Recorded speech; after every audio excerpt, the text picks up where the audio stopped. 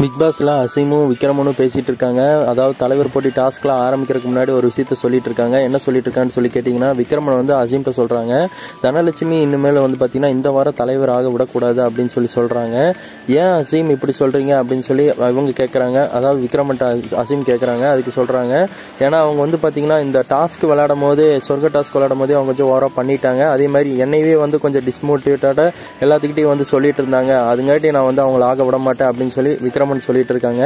அசீம் கேமை நல்லா புரிஞ்சுக்கோங்க. யாரை நம்ம விளையாட விட்டாலும் வில்லைனாலும் அவங்க வந்து மேலே போகிறவங்க போயிட்டே தான் இருப்பாங்க. நம்மளோட ஸ்ட்ராட்டஜி படி நம்ம எப்படி இருக்கணுமோ அதே மாதிரி தான் இருந்துக்கணும். அப்போ தான் மக்களுக்கு பிடிக்கும் அப்படின்னு சொல்லி அசீம் ஒரு வார்த்தை சொல்கிறாங்க அப்படி ப்ரோமோ முடிச்சுக்காங்க. பிக் பாஸ் சப்ஸ்கிரைப் பண்ணுங்க. Thank you